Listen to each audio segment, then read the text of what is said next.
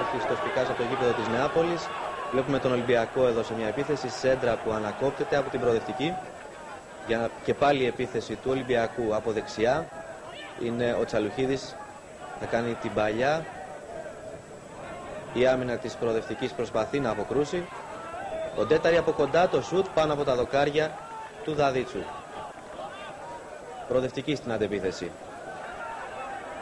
Στην περιοχή του Ολυμπιακού από κοντά το σούτ θα αποκρούσει ο Μολακίδης. Ο Μολακίδης που χρησιμοποιήθηκε σήμερα από τον Ήμρε Κόμορα αντί του Ταλικριάδη. Θα παίξει από ό,τι λέγεται και στην ΟΣΕΡ. Στην επίθεση είναι και πάλι η προοδευτική εδώ. Ο αρχηγός της, ο Φώτης, ένα σούτ από μακριά. Δεν μπορεί ο Μολακίδης και το γκολ είναι για την προοδευτική. Βλέπουμε από πόσο μακριά είναι το σούτ του Φώτη. Ο Μολακίδης σκάει μπάλα μπροστά του, δεν μπορεί να αποκρούσει και τελικά στα δίχτυα. Αυτό είναι το γκολ της προοδευτικής. Ο Ολυμπιακός ένα φάουλ με τον Αποστολάκη. Αποκρούει το κέντρο της άμυνας της προοδευτικής.